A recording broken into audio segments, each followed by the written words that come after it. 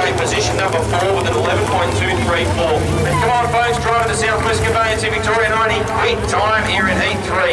With an 11.024 is Corey McCullagh.